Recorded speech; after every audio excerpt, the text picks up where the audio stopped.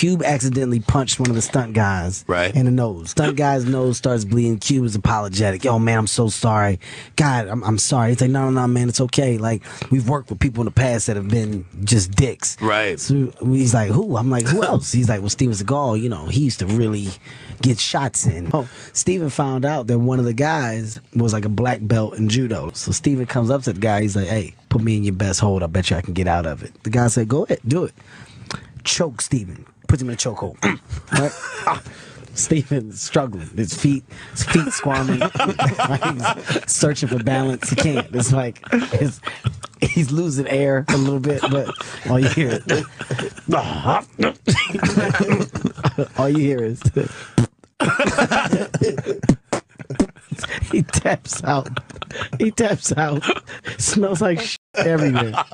The guy choked the shit out of Steven Seagal.